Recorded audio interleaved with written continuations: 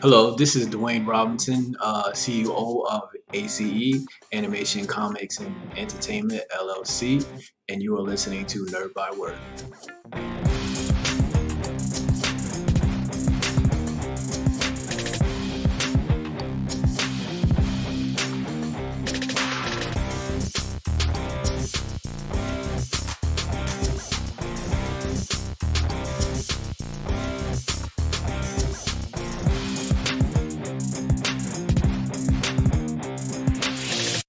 Welcome into the Nerd Byword podcast, a program that is not a creation of our shattered psyche, but an actual tangible form of media in the real world. We're looking at you, Wanda. Kris and Dave are here yet again to guide you through the calamity that is the nerd multiverse. Today, we have a really fantastic interview with independent creator and entrepreneur Dwayne Robinson Jr. of Animation Comics and Entertainment LLC. But first, we're heading to Wall Street with our senior stock exchange correspondent, Dave. What's happening? Oh, this is funny. I, I, like that introduction. I don't even know how to talk about one of the most bonkers news stories of the year so far without an extensive background in the financial market. I'm just going to wing it. That's how I'm going to deal with this. So I don't think it's a secret to anybody that GameStop is dying. You know, video games are moving more and more online and physical media is becoming less and less important. If GameStop doesn't reinvent itself soon and really fundamentally, it'll probably collapse under the weight of a changing market.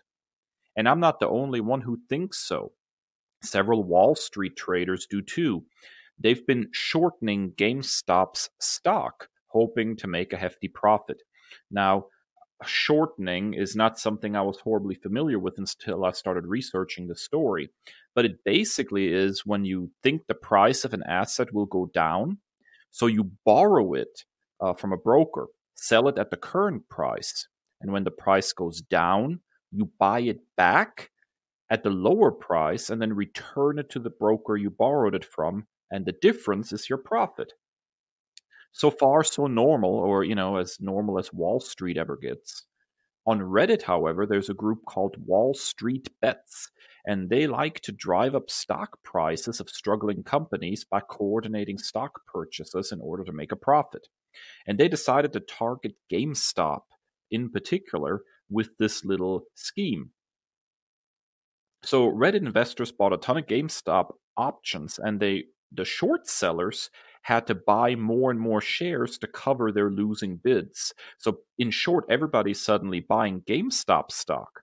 And it drove the value of GameStop up by 1700%. Now, this has absolutely nothing to do with GameStop. The company is still facing a bleak future. Still, dozens of investors are reaping huge profits off this company right now while the short sellers are desperately trying to stop the bleeding. And to me, this is a really interesting nerd story because a, you know, it's it's video game adjacent, but b, you know, it illustrates that the problems of stock trading in Wall Street. It underlines how coordinated internet efforts are increasingly affecting the quote unquote real world. And I think it reminds everybody that yes, GameStop is is basically about to take its dying breath. Kris, what do you think of the story? This, I mean, this is wild, man. Okay, so in, in addition to GameStop, um, AMC was part of this as well. AMC Entertainment, um, and their shares jumped up in value 230 percent.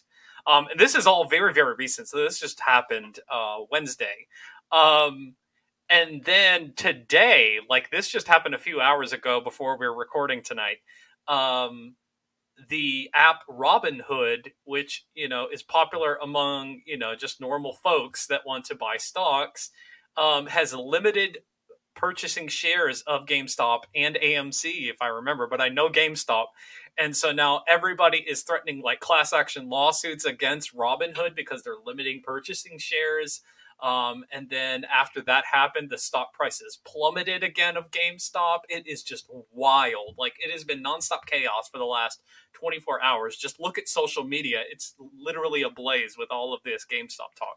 But like you hit the nail on the head, it's still on its last leg and headed towards bankruptcy. And the same is true for AMC Entertainment. Like these are these are companies that are about to be phased out, technologically speaking, and um, just a bunch. It's the power of the internet and social media that are, you know, just putting it back in, you know, popular, you know, culture again. So it's just wild to see what what Reddit can do. But you know, uh, I think it's much ado about nothing because you know now they're limiting it, and the market seems to have corrected itself. I am by far, uh, by no means a, an expert in in financial uh, the financial world. Um, I took AP economics, uh, but that was 15 years ago, and I couldn't tell you a thing that I learned there.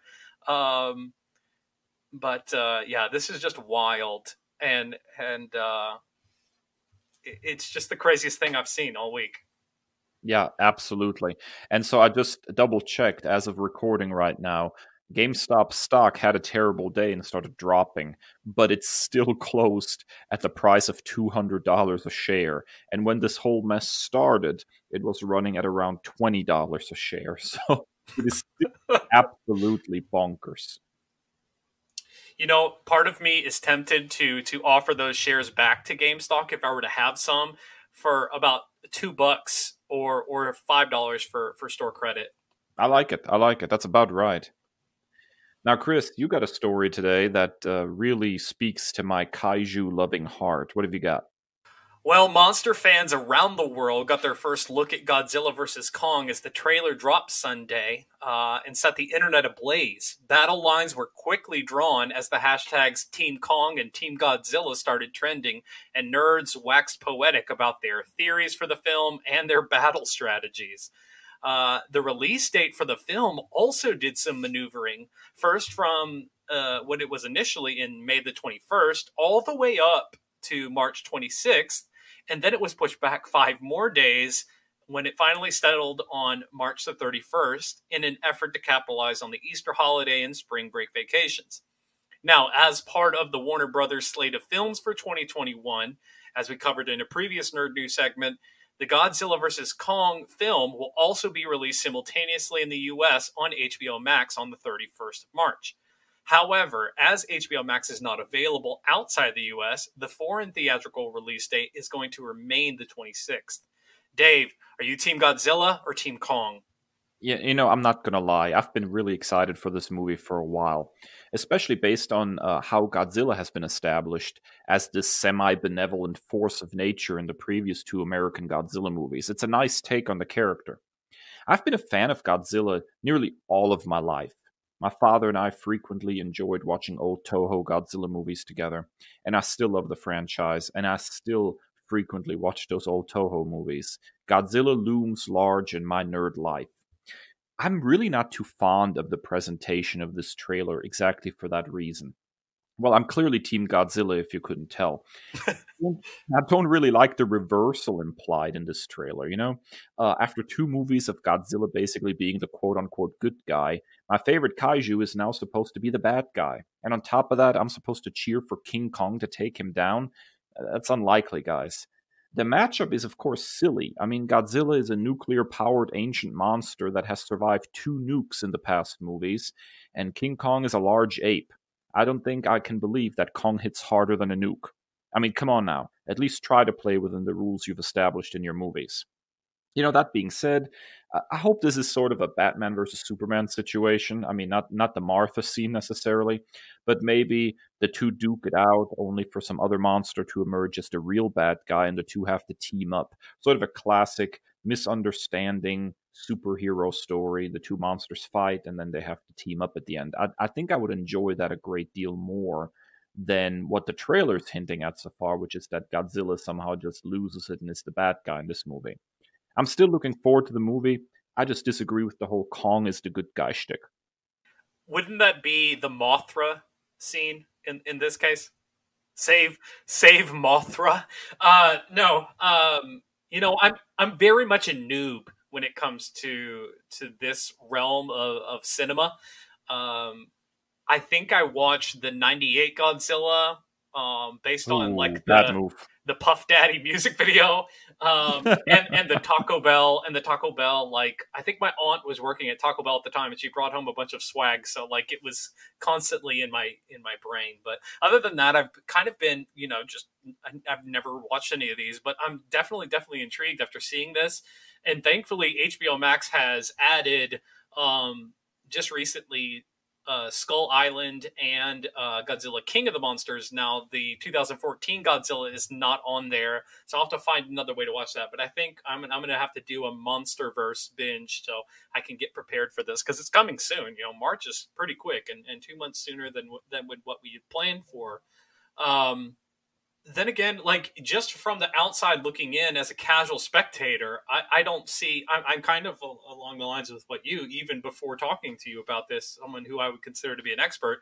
Just looking at them, I would. I mean, like he's like a super powered dragon versus you know a big gorilla. I mean, it, it doesn't really seem to compare. I've always I've always been a huge fan of you know like dragons and you know large lizards. So it's really amazing that I haven't watched Godzilla stuff. It, it really is weird, but um, I, there was one thing, and you talk about Godzilla being quote unquote the bad guy. There was one line that jumped out to me in the trailer that was like, maybe there's something that we're missing, or, or like maybe he's trying to tell us about something that we're missing. That really stood out to me. So I'm I'm thinking, I'm, my gut is telling me that that you're right, and that uh, it's going to be like some kind of misunderstanding. I certainly hope so. I think that would make for a, a more satisfying movie for I think fans of both. Um, if they have you know a sort of a, a mid movie throwdown and then let the second half of the movie be something a little different. Um, but yeah, I'm I'm still looking forward to this. Anytime Godzilla is on the big screen is good news. And let's be honest, when it comes to kaiju movies, nobody cares about the human stuff. Everybody just wants to see the monsters go at it. So, so I'm I'm I'm ready to see uh, what what happens in this one. All right, you heard it here. We're both Team Godzilla. So, sorry, Kong. Uh, that wraps up our nerd news segment. When we come back from this, our first break, we're going to be sitting down with Dwayne Robinson Jr of ACE, that's Animation Comics and Entertainment, uh, to talk about all of the projects that they have going on there at their website and, and everything that they're doing. Stick around.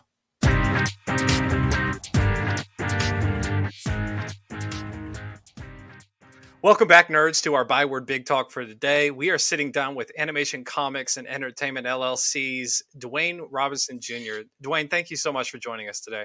Thank you. Glad to be here. So we usually start out our interviews with our guest nerd origin story. So what was your first exposure to like the nerd world and and how did you get to where you are at today? Um, I would actually say that it's it's it's different formats. You know, I I've always loved watching TV shows and comics and things like that. But uh, I would definitely say uh, TV shows, the Marvel Fox network that really kind of just really made me want to kind of try to really start to create my own stories and things of that nature. Even when I had my toys, I instead of just using these toys whatever toy it could have been, it could have been a Power Ranger. It wasn't a Power Ranger anymore. It was just my own creation, you know. And uh, I was just creating my own world by then since I was a little kid. So it's always been in me. So uh, tell us a little bit about your company, Animation Comics and Entertainment. What is it that you hope to accomplish with this uh, venture? Well, I think the name is kind of really self-explanatory, but you know, for for us, we, we kind of want to uh, really not limit ourselves when it comes to our creativity, and we also uh, want to have other people uh, to, to, hire other people with the same kind of uh, ideas and, and, creativity as well. We want to um, start out with comics, and uh, eventually we want to also start to put together um, animated series and shows and even hopefully one day a movie that would be nice too you know um, and then uh, from there also you know because we also do video game and movie reviews so we're also looking to uh, expand on that and maybe even one day have a podcast talking about all of these things as a whole. So this is a a company that was founded by you and, and, Terrence Young in 2017.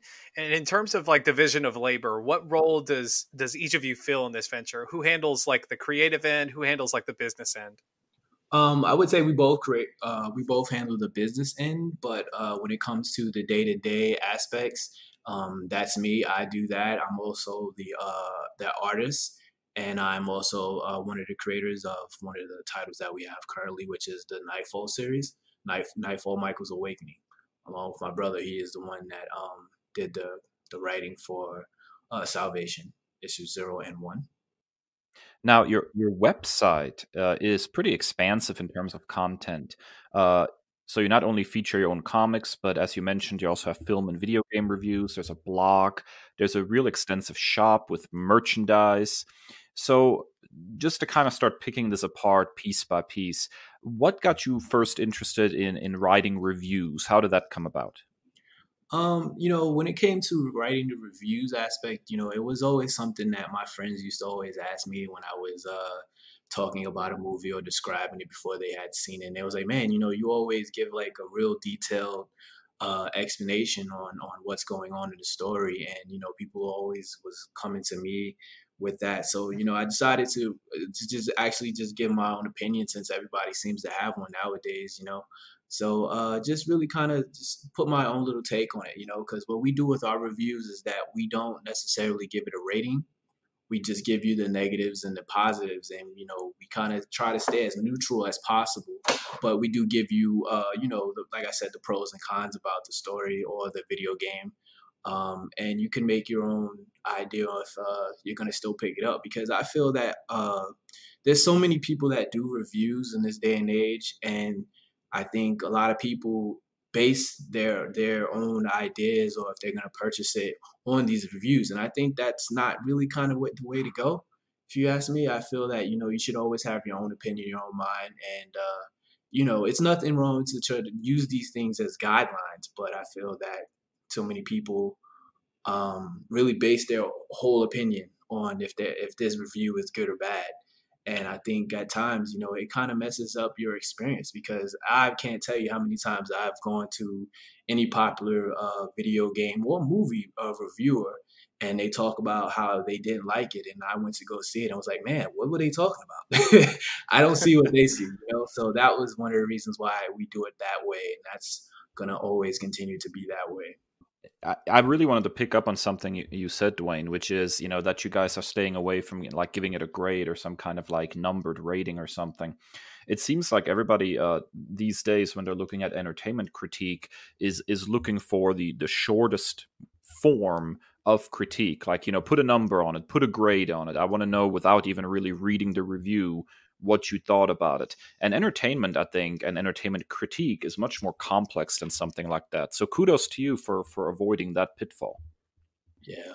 Yeah, I, I, I just because I, I, mean, for me, like one of the things that I was, because uh, I'm a huge gamer, and uh, one of the games that I, I still enjoy playing to this day is a game called Dynasty Wars. It's a, it's a, for the most part, a beat 'em up but every year it used to come out and every year it used to get bad reviews. And i was like why? This is this is a game that i enjoy. I know what it is. I'm not expecting it to you know change the wheel but i you know for what it is i, I enjoy it thoroughly and it should be reviewed that way it should be talked like that and I think uh, when you don't have those things or you don't have uh, those avenues to really look for those things when you're going to check out a review per se, it may change your outlook on on purchasing it. I think that loses out on everybody's experience, the people that are making the game and the people that that can possibly play it and enjoy it. It's, it's really interesting you say that too, and and and where we're in a market where there's so much media out there, there's so many different types of games and, and stories and everything, and it's interesting that you say like I don't put a number on it, is because I had the same experience with uh, the Avengers game th- that was recently released, and and it was it was dragged like so much by reviews and like because yeah. it wasn't this, it wasn't that, it wasn't this, and they I think they put it up like with a, like a unfair or you know like inconsequential or erroneous kind of measuring stick because it didn't have what Fortnite has or it doesn't have like the game content that this game has but I really enjoy the game for what it is. Like I know what it is, you know, going forward. I don't I don't expect it to be all these other games. And if I want something like that, I'll go to those other games. So I really really enjoyed it. I think it had a really strong campaign. I thought the story about Kamala Khan was really beautiful. So I, I really appreciate like like you said like the different kind of take on the review. Yeah, I think you have to really kind of, you know, when you're doing a review, you got to remember that there are people out there that are actually going to like the game, regardless of how bad it truly is. It might be someone out there that goes, you know what, I actually like this. This is not bad, you know. So I think you should you should kind of always have a neutral standpoint when it comes to reviews, and that's what we try to do for the well, what I try to do for the most part, because uh, it is primarily me doing the reviews. Um, every now and again, I have uh, my other friends do it too but um, mainly me. So, so on your merch store, uh, you've got uh, it's filled with shirts featuring your original characters, but there's also a shirt that simply reads "progression over perfection." Now, what does that yes. phrase mean to you? And tell us about like the backstory on that. Um, it's, it's not too too long of uh, really explanation. Honestly, it, it was just something because uh, every every Monday, what I do is uh, we have something called the Motivational Monday. Um, and that's just basically me just uh, posting, you know, something, a quote or something, you know, that can maybe uplift somebody for the week, you know, get everybody prepared for the Monday that's about to, the week that's about to start, you know.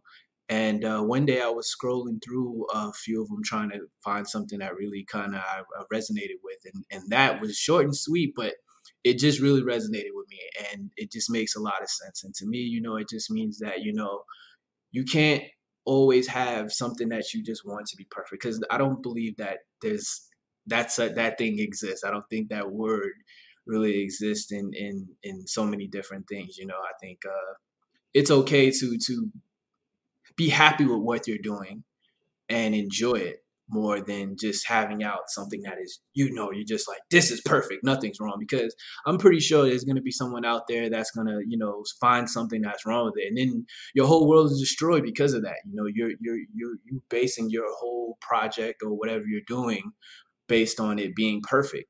And I think uh, at the end of the day, when that is being destroyed or changed and someone sees it differently, it can change your whole outlook and it can make you feel really bad and maybe not even want to go on.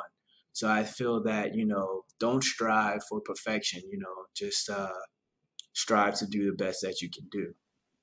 That's that's wonderful. The one the one that's kind of similar to that that always sticks with me, and I've said this on the podcast before, is uh, Pops from the Luke Cage show on Netflix, where he says "always forward and never backward," and it just kind of resonates. You always right. kind of make some kind of progress.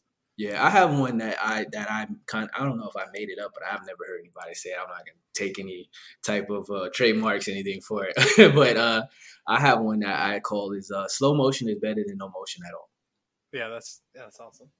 You know, and I I I for me that really makes a lot of sense for me because we started the company at 2017 and uh, when we first started we were doing good but then you know a lot of personal things a lot of things got in in in between what we were trying to do and accomplish and we had to take a step back and you know now we're we're uh, back where we need to be and we're, we're driving with uh, finishing uh, salvation issue one recently and we're working on um, finishing immortal and brook city now, uh, you've mentioned already some of the the comic book projects that you guys have been working on.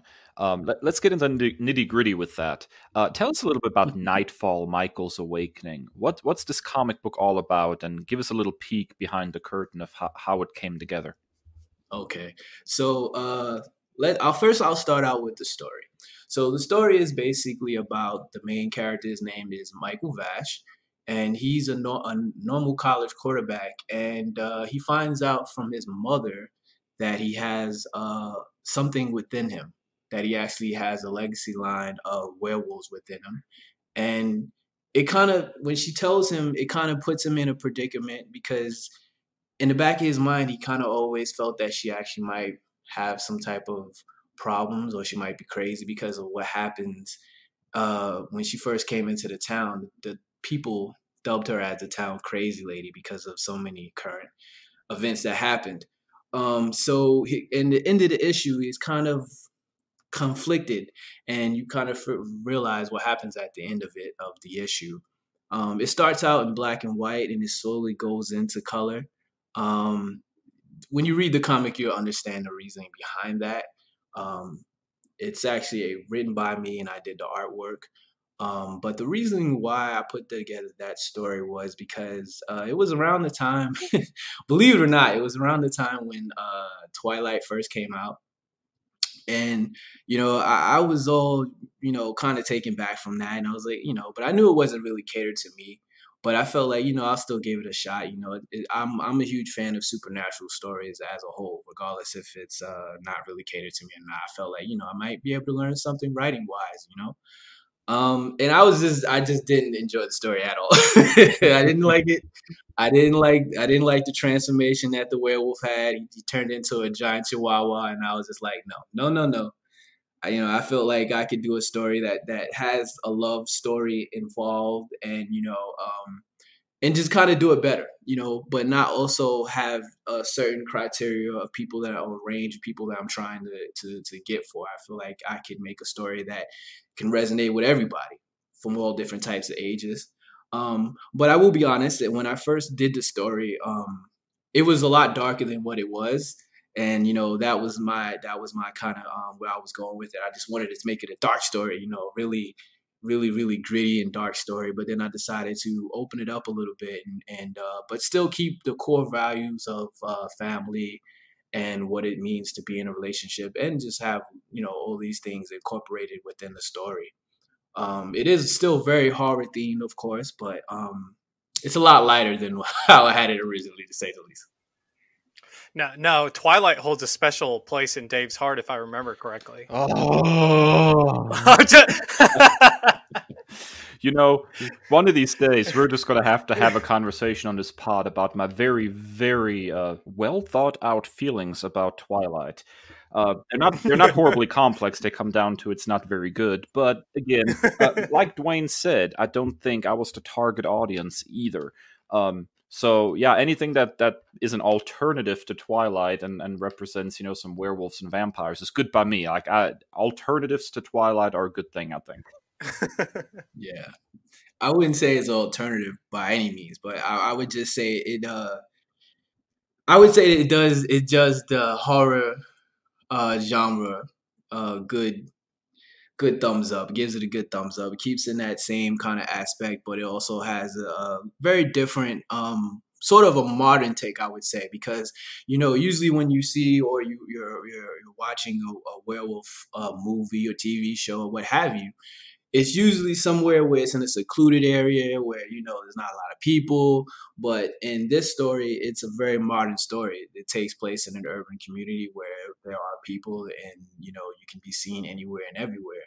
Um, but you you you when you read the comic you understand why things are the way it is and it kind of just really slowly starts to build on the world. Um, not in issue one per se but mainly in issue two it explains everything in issue two it still leaves off a lot of questions, but um, it definitely answers a lot at the same time when it comes to issue two. I would say issue one is more of you, you know, you're kind of going along with the story. You know, you're growing with the character, you're figuring them out, you're understanding who's who. And then at the end of the issue, you're, you're left with a lot of questions. And then in issue two, it takes off right from there, and then it answers all of those questions that you might have had, and even possibly more, along with um, introducing more characters as well. So we'd also love to know more about Salvation issue zero. What can you tell us about that? Salvation is uh when we talk about how I actually decided to lighten the story. My brother, on the other hand, did not. uh, I would definitely say the uh, Salvation story is a lot darker, but I would also say that it's darker, but it's not. Um, how can I say? It's not darker to the point where you know it's it's unreadable for kids kids can still read it. It's still something that you can probably see, you know, watching Toonami if you're if you're an anime fan, um, in that type of realm and that nature. Uh, but I would say the story is uh, about the main character. His name is Vaughn. He is a relic. A relic in that world means that you have uh, demon and human blood. That's why his eyes are two different colors when you see the cover on issue zero. And he is in search of a powerful shaman that can get his curse mark that he has on his right hand removed. He doesn't know necessarily what and how he got it. He just knows that he was born with it. But he feels that this is definitely a curse mark because he find, he has no true home because on one hand the humans hate him because he has this demon blood and he has these supernatural abilities and on the other hand you have the demons who want to kill him for some strange reason that he doesn't have the answers to and that is why he took the profession of being a demon hunter so that is pr- pretty much what um, issue zero or the actually to say the, the whole story as a whole is really about his journey on trying to get this curse mark removed. And he heard from uh, a reliable source in the story that there is a, a, shaman named Solomon that can actually possibly get removed. And you in issue zero, you basically really just finding out who he is as a person. You're seeing the journey that he has to go through to try to get to this this uh, shaman Solomon. And in issue one, it takes up takes continues right off from where that where we left off. Um, it also again adds in more characters, uh, but also answering more questions that you might have had in issue zero. It was also written by my brother. Oh, and I did the artwork. Fantastic. That sounds really, really interesting. Uh, I, I, have noticed that both uh, of the series that you've started so far under the ACE banner have a horror vibe featuring, you know, werewolves and demons. Was that a conscious decision? Are are both of you big fans of the horror genre? Um, I would say we're, we're both fans of all genres as a whole. But um, when we started the company, we really kind of wanted to just look at what might be missing, something that we can kind of start and grow into something else. Because everybody we feel that has uh, indie company has uh, superhero stories.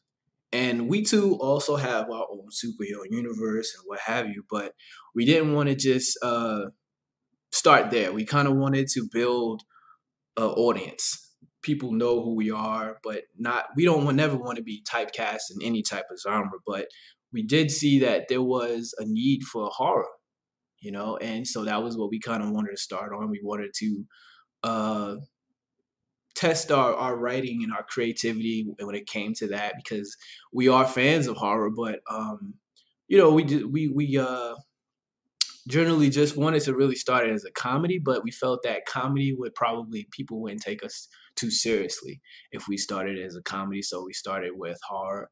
And I've always been a fan of werewolves myself. I have a tattoo of a werewolf on my on my left shoulder.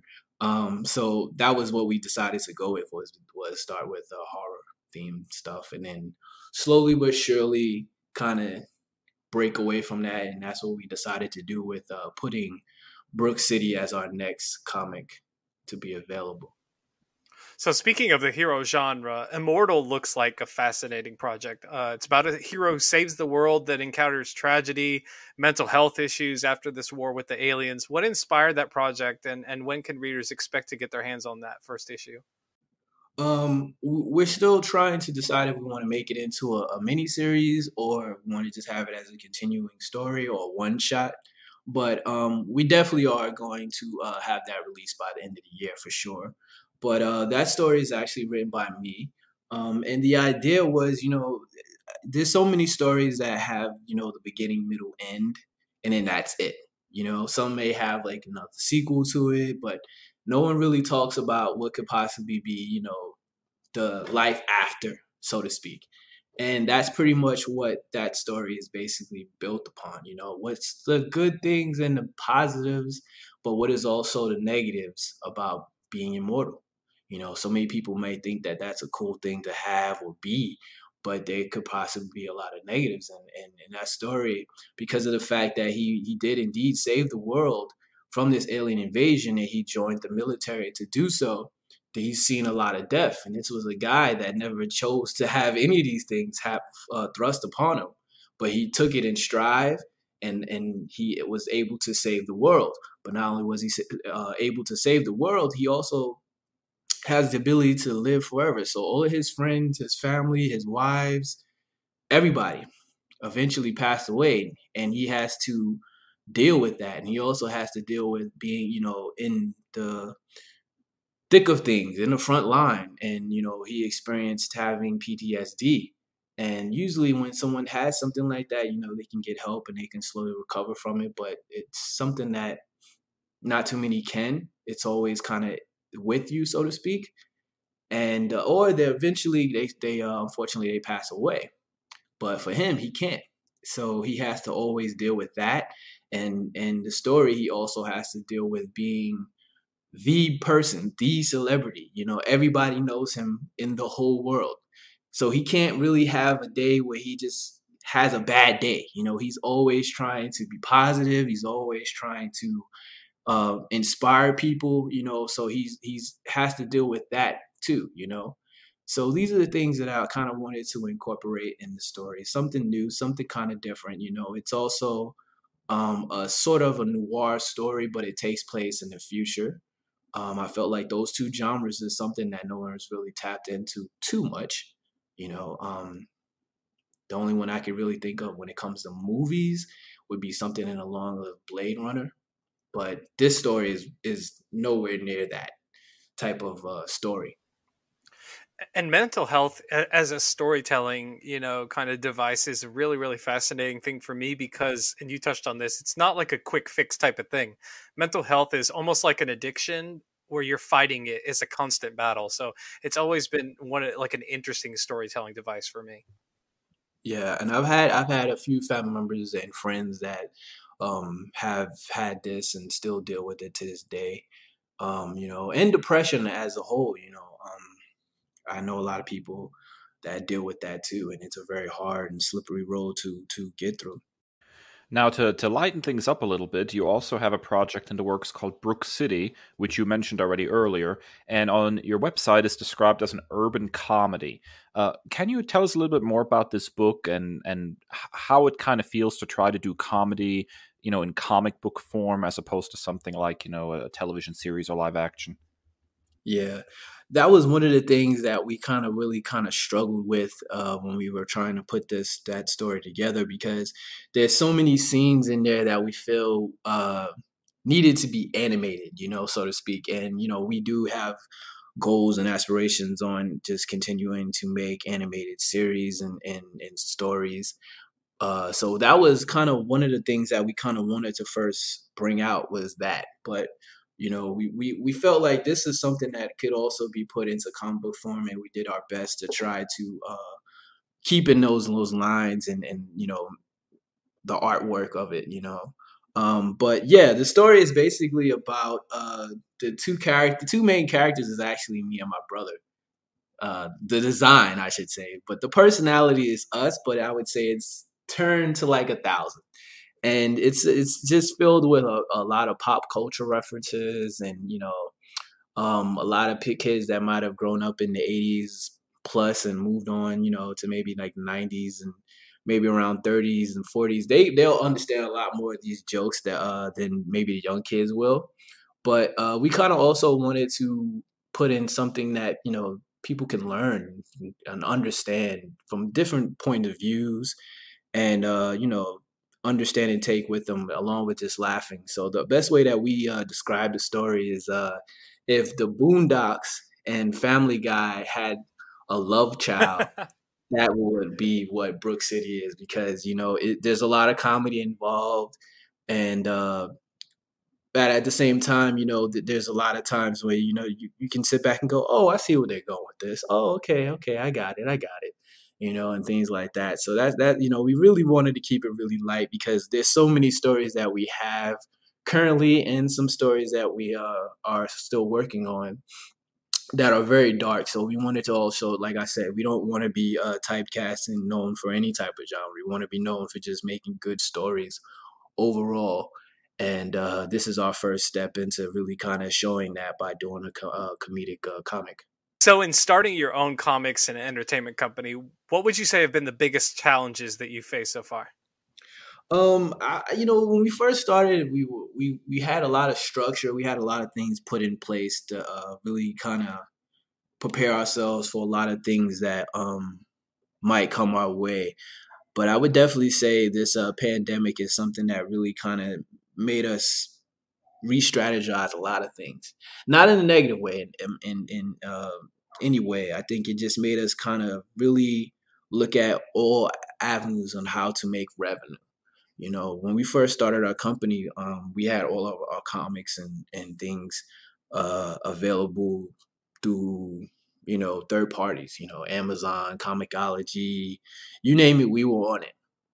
And you know, we we knew that they were going to take out a certain amount of money, you know, uh, for having to put our stuff on their platform, and we didn't have a problem with that because we knew we were still very young. But uh, when the when COVID first started, you know, we we we rebranded our whole logo and our, our um, things like that. So we were ready, kind of geared to you know restart and go out there and go to the conventions and really kind of get our names out there again. But uh, when this hit, you know, it kept everything. You know, we had to figure out a way to make some type of new revenue. And uh, the way that we did that was to just completely redo our website and figure out a way where we could have our website our main source of making some type of revenue digitally because when when we go outside that's a whole different you know beast but um, creating our new website now that we have everything is basically through us you know you can't get it anywhere else you can get our merchandise, you can get our comics, and we have so many other things that we want to do with the website as a whole. Uh, but not just for us. Uh, one of the things that I um, I enjoy doing is uh, to bring notice to other indie comics and companies. You know, um, I don't want to just be um, doing everything for me. I want to help someone else or others uh, get get the type of limelight they need and deserve. So uh, that's why I have the website too. So when you create and you subscribe and you create your own profile, not only do you uh, become a subscriber, but you can also promote your own stuff on our profile page. So we're always asking uh, creatives that come on the show, especially from the indie scene, uh, about you know their take on on crowdfunding, um, particularly you know uh, using it as a way of of getting things going as far as you know getting the project out there, but also uh, oftentimes having to compete compete on crowdfunding sites with more established professionals who also have now begun to turn towards crowdfunding as a way of getting some of their projects out. Just curious what your take is on Kickstarter, Indiegogo, and the like. Yeah, um, we've done a Kickstarter before. Um, we've we've looked into doing Indiegogo, and I, I like both. I think uh, it really just depends on um, the need on, on uh, the the money that you need at the moment. Because I think when it comes to uh, Indiegogo, Indiegogo also gives you the idea, you know, the same type of uh, goal setting and, and rewards that you can do on Kickstarter. But the difference is that uh, if you're crowdfunding or Indiegogo uh, thing is not successful, you still get to keep a certain amount of revenue that you made, which is, is positive. But I, I do feel that Kickstarter is the number one when it comes to crowdfunding. So I think uh, if you do have a Kickstarter, it, it really helps uh, when it comes to trying to promote promote it and, and get it out there a lot to, to everybody because I feel like everybody knows that more than anything, especially if you're uh, indie creator or you're just a, a inventor. It just has so many other avenues outside of uh, just indie comics as a whole. So you've hinted at it a little bit um, as we've gone through the interview, but but what do you hope the future holds for your company, and where do you see it in five years? In five years, I hope that we have a lot more uh, titles uh, created, and people know us uh, simply by our names and our and my logo um, but also known to uh, help and give give back to to other creators as well.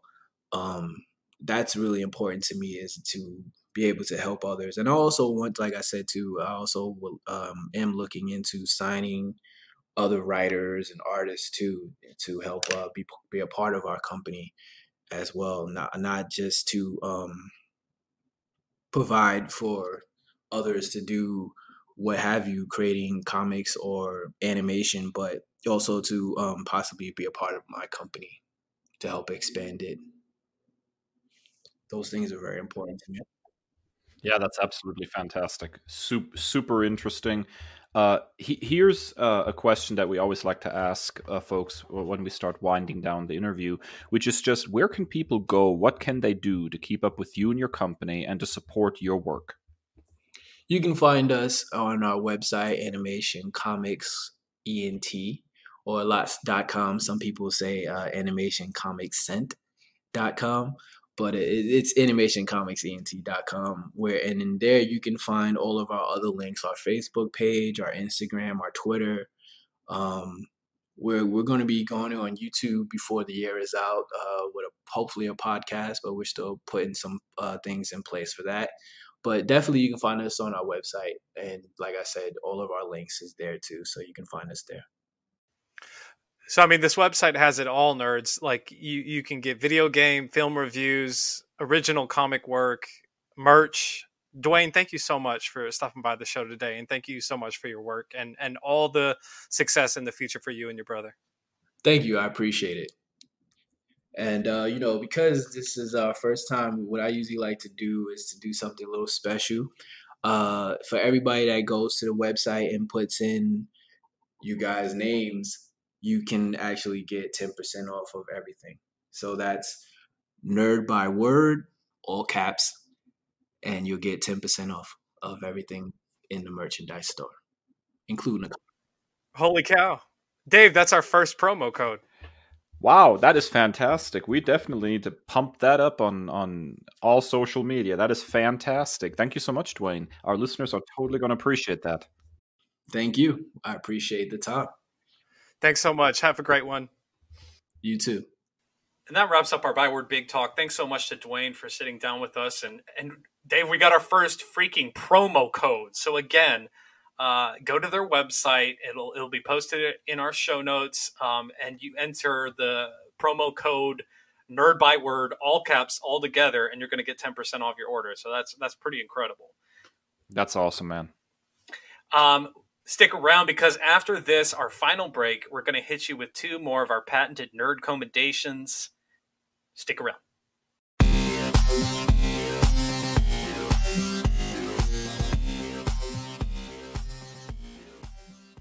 All right, we're back for our final segment, Nerd Commendations. Dave, you're headed the sci-fi route, and I'm geeked. What you got? Oh my god, man! I just I hardly can contain myself about this nerd commendation. I just got caught up with it, and it, I'm just I don't even know, man. I'm just so psyched. So I finally got caught up on in a comic book series that has completely captivated my imagination. Not since my first brush with Miss Marvel have I enjoyed a new character this much.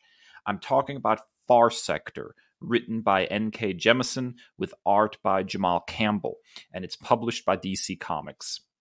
It's a great twist on the DC comic property Green Lantern.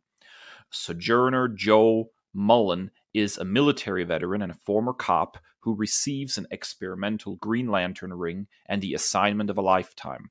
Become the only Green Lantern in the city Enduring, a city of billions made up of three different races who have surrendered their emotions in exchange for peace. When she is charged with investigating the first murder in the city in centuries, she's forced to peel back layer after layer of intrigue, of societal rot, of silent suffering.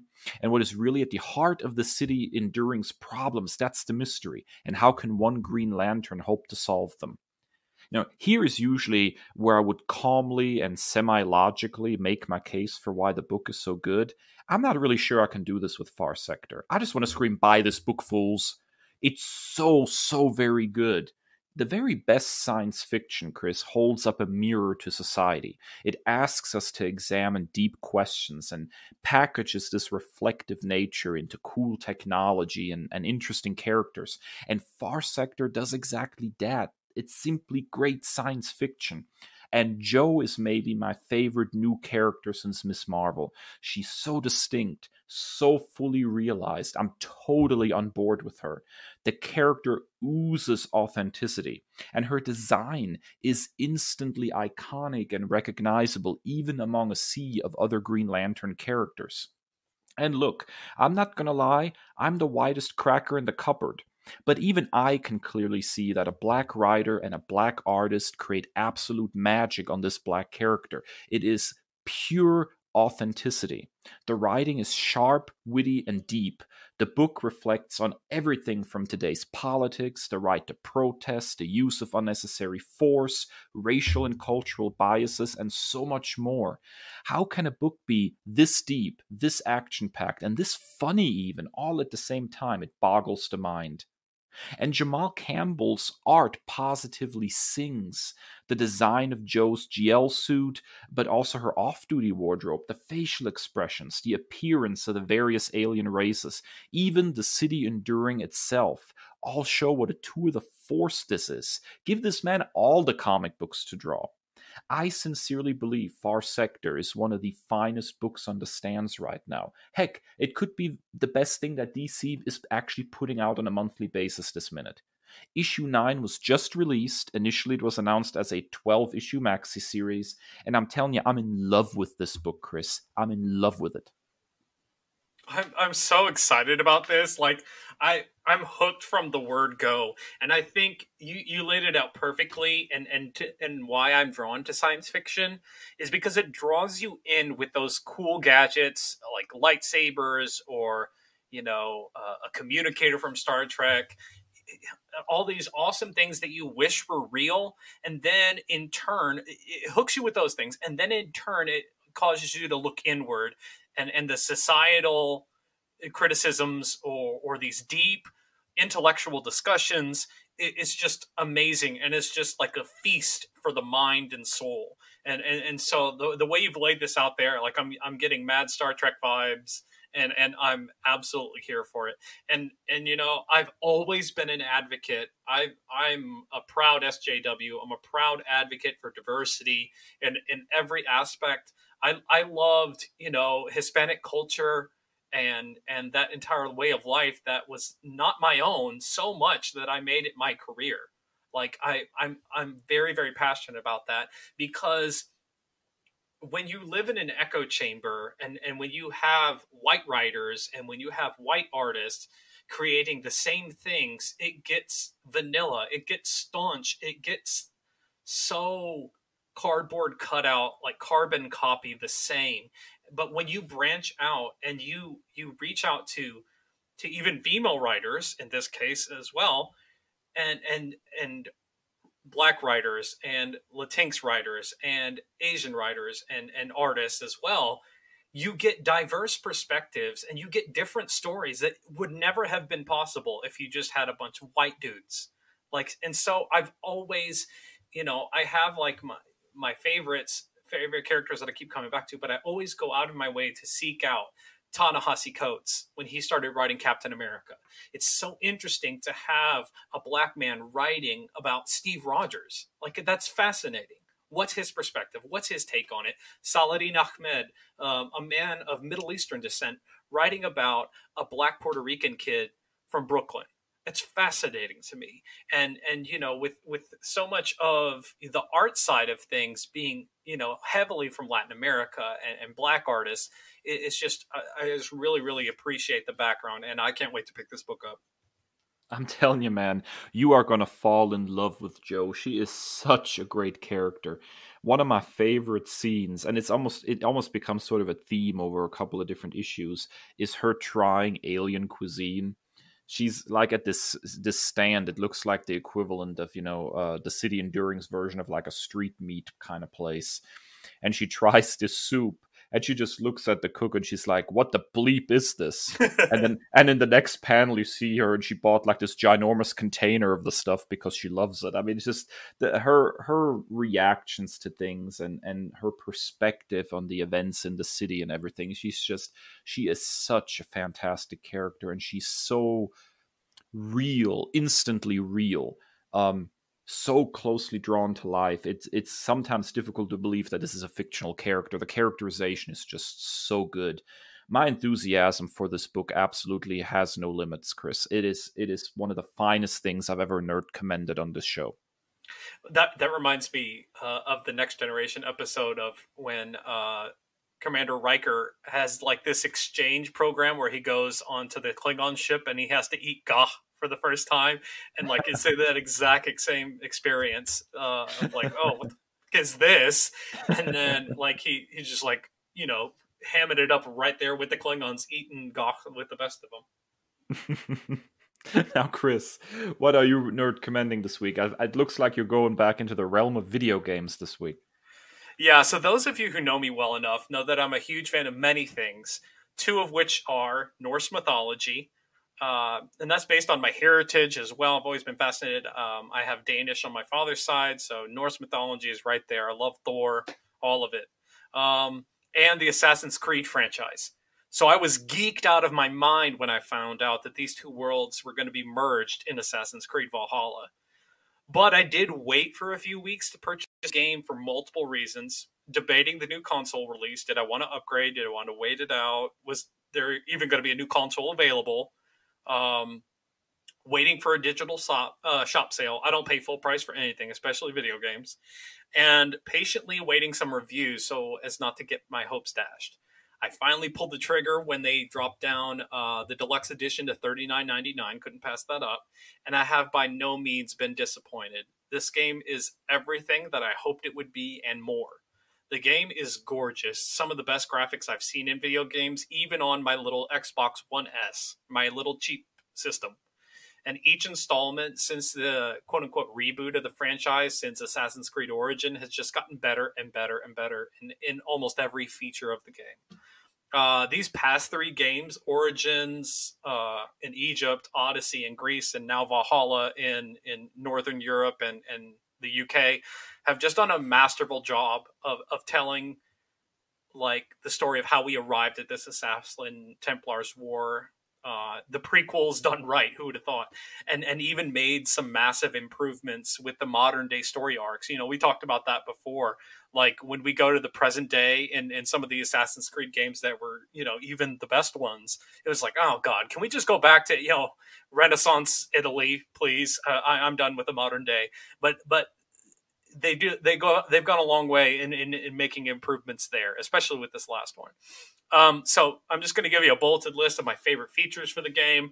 Um, the skill tree can be reset at any time during the game at no cost of resources. So you can completely like take a different strategy at any point in the game. Like I'm I'm at level like 325 right now and if i wanted to i could reset all of my skills and go a completely different direction and max out a different set of skills gear sets offer great bonuses um, this is a really cool thing that I've never seen done before on any video game.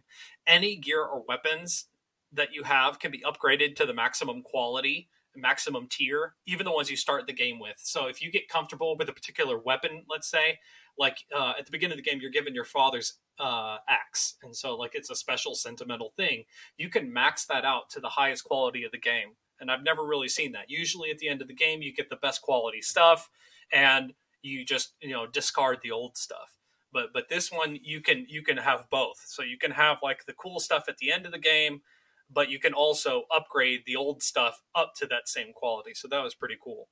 Uh, the masterful storytelling whoever the writers on here and the voice actors amazing. Out of this world knocking it out of the park um, and it's truly a fascinating take on the Norse mythos, particularly Odin. Odin is very, very different. You know, you get used to seeing him even in the MCU as like this, you know, beer gut, old guy. Odin is very much like a sneaky, like uh, in the shadows type. It's a very, very different take on Odin. The voice actor is very quiet, whispery. It's very mysterious. Odin is really, really cool. And it's a, also a really interesting take on faith and spirituality at large. Like you have the the Danes coming with their religion and and their polytheism, uh, and they're clashing. But also at some in, in, some instances for alliance purposes they are allying with the the christian anglo-saxons. Um, the inclusion of the sons of ragnar. I'm a huge fan of ragnar lothbrok uh, the show vikings. Um, and the sons of ragnar and the anglo-saxon wars I, I, love history and and this is historical fiction at its finest um, they have a completely new way to heal yourself they have rations, which is you just go around gathering mushrooms and berries, and that's you you complete a ration if you collect enough berries and stuff, and then you just hit that anytime in the middle of a fight. You just you know take a mouthful of berries, and and that heals you. You don't have to like run away and hide until like this meter heals you. Uh, the runes that you socket in your gear to to amp them up, they can uh, switch them out at any time at no extra cost. Um, this one's really cool. You have a fully customizable character that can be changed at any point in the game, including your gender. So you can be a female Eivor or a male Eivor, and you can switch that at any point in the game. Um, and then you can customize your character with like facial tattoos, tattoos all over your body, um, hair color, hairstyle, and my favorite, beard. You can customize your beard. So you can go clean shaven, regular length beard, long length beard, braided beard, a la Thor in Endgame. Really great. And it's a truly fascinating mission arc that takes place in Asgard. So, like, you take this potion and you wake up in this dream world that's Asgard. My only caution with this recommendation there is a massive, massive, massive bug in Asgard in that arc with the defensive measures bug. And I really screwed the pooch on this one. Make sure you check out walkthrough guides before you start the defensive measures mission because now I'm stuck until they get a, a reboot and like I can't progress any further in that mission arc. So make sure defensive measures you check that out on, on like walkthrough guides before you start that arc because now I'm kind of screwed. But other than that, I love this game and I can play every other part of it just fine. You know, I love a good open world game. Uh, although I really don't have the time right now to play this kind of time sink. This game is definitely on my radar, though, for when, you know, I actually have some time to play again. I do have to admit that Ubisoft open world games always feel a little overlong and overstuffed with busy work rather than meaningful side quests. You know, to me, something like Horizon Zero Dawn, yes, I'm on that horse again, nailed side quests. Each one revealed more about the world, its characters, or its lore. Nothing was wasted. Nothing came down to basically uh, fetch this, at least without some kind of interesting payoff. So is Valhalla an overstuffed ball of side quests like some other uh, Ubisoft open world games, or does it manage to do a good job with the relevance of its quests and its overall playing time? it does a little bit of both. There are some that are pretty quick. The thing that I like about it is is some of the side quests that are not all that interesting can be done in like a minute or less. Like, oh, can you carry like this? There's one where like this guy falls off the bridge. Can you carry him back up to the bridge? And that's it. And it took me like a minute. Um, and then there are some that are much more uh, intrusive, and then they like have like a like a paying off, like like a foreshadowing type thing. And the thing that I really like about like these recent games, it's it's like a choose your own adventure story. Is like the the choices that you make early on in the game will have further implications. Like um I, I don't want to spoil anything, but just just basically that that like you choose and and it has to be pretty quick too. It has like a little timer. You choose one of three lines of dialogue in certain situations, and it'll have further implications. Well, it sounds like it's a really good game, and I definitely need a good open world game. So once my schedule opens up a little bit, I think I'm going to be up for this one. All right, nerds, that wraps up another episode of the Nerd Byword podcast. We thank you so much for joining us today.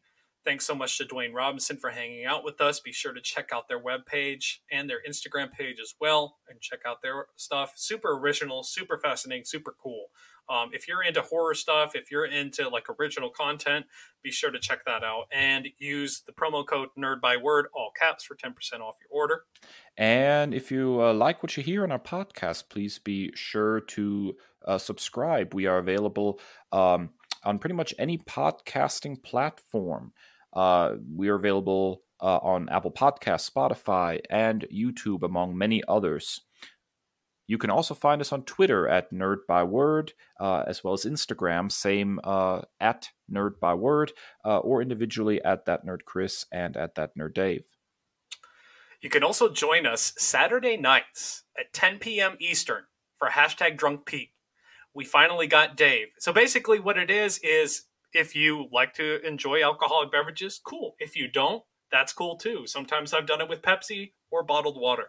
basically we just have a set calendar uh, of a Spider-Man adjacent comic, and uh, based on the theme, like this month we've been doing like WandaVision type stuff with the release of WandaVision, and you live tweet a stuff, uh, live tweet a comic, and and just have fun, just reacting and and you know, conversing with other nerds. So that's again 10 per, uh, 10 p.m. not 10 percent. I, am blinding them together again. Uh, 10 p.m. Eastern every Saturday night. Hashtag Drunk Pete. You can reach out to either one of us on on Twitter, and, and we'll be happy to be your guide with that. And as always, stay well and stay nerdy. The Nerd Byword is written and produced by Kris and Dave, two nerds with a love of all things pop culture. The podcast features music by Al Jimenez and show art by Ashery Design. Find us at nerdbyword.com and wherever podcasts are available.